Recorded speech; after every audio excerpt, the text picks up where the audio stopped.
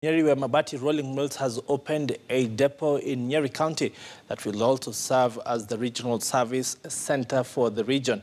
Speaking during the opening of the new depot, the company CEO Henry Haycourt said the new office will bring services closer to the people, hence reducing on the cost of operations. He also said that the company is looking forward to opening more distribution centers in the region and right across the country. Well done. Officially open. Karibuni, karibuni sana. Good.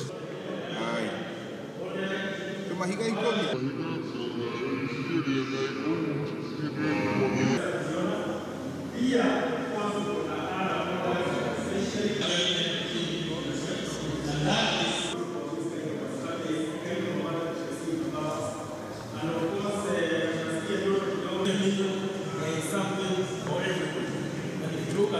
Kenyan buyers now are, are demanding a, a, much better service out of out of manufacturers.